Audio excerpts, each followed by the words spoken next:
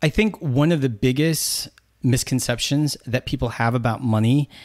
is that you need a lot of it in order to start mastering it.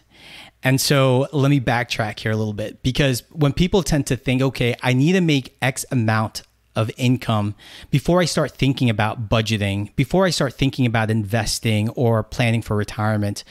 Whereas it's really essential the moment you start earning income, regardless of what that is, is that's the moment where you should start thinking about how to manage money. Because I've seen this over and over uh, many times,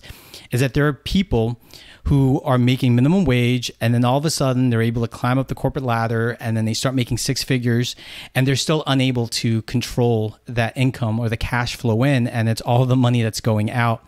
And so it's really essential to to learn to manage money because there's no amount of income that's going to help you achieve your goals if you're unable to manage it